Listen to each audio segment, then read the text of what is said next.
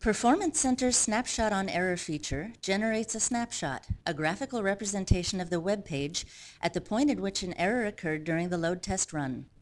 The new Snapshot on Error viewer enables you to view these snapshots to help debug your test run.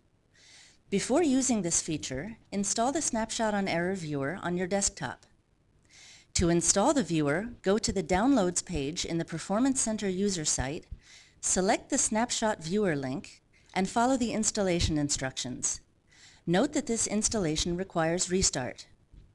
For the purpose of this demonstration, this computer already has the Snapshot Viewer installed. In addition, we have already created a load test called WebLoad. Open your load test. The next step is to enable this feature in the Runtime settings. In the Design Groups tab, Click the Runtime Settings icon for a selected vUser script to display its runtime settings. Under General, select Miscellaneous from the menu on the left. The Miscellaneous page opens. Select the Generate Snapshot on Error option. Click OK. Now let's run a load test and view a snapshot. Our load test includes one script called Mercury Web Error Example. This is a short web protocol script with one error that was intentionally added to the script for the purpose of this demonstration.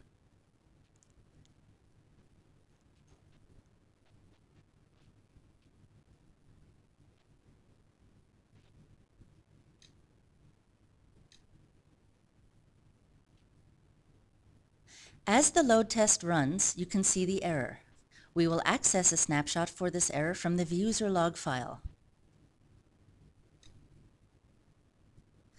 Click the vUsers button on the right-hand side of the screen. Click a specific vUser ID. The activity log opens. Notice that at least one of the lines has a camera icon. This indicates that the step has an error and a corresponding snapshot. Click the icon to view the snapshot.